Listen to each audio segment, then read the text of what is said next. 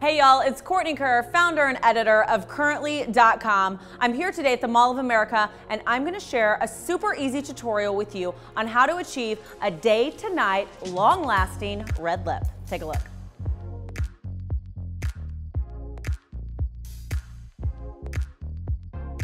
Okay, you guys, so the secret to achieving a long lasting red lip, it actually has nothing to do with the red lipstick that you pick out. It has to do with how you prime your lips. So first of all, I like to use MAC's Full Coverage Foundation. This is what I also use underneath my eyes and to conceal some redness around my nose. So after I finished all of my makeup, I'm gonna go back in here again with my foundation brush again. And I'm gonna prep my lips. This is gonna, I think, help fill in all of those lines kind of around your lips where women will go, well, I love, love, love red lipstick, but it always settles and then creases. Well, this is gonna help that.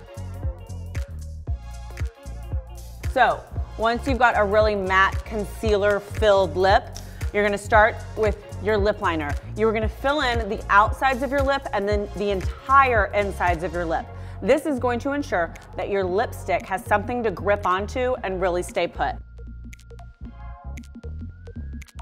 I love MAC's lip liners. They, my lips just really like these. This is the He Said, She Said red lip liner.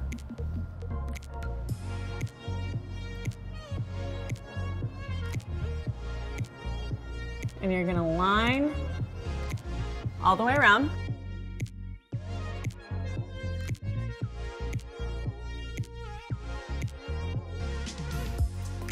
And then you're gonna fill in.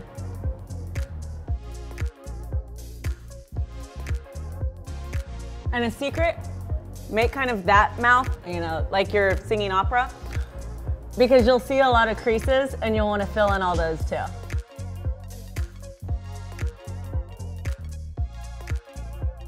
Now, it might look okay then, but once you fill in your lipstick on top of it, it's gonna be perfect.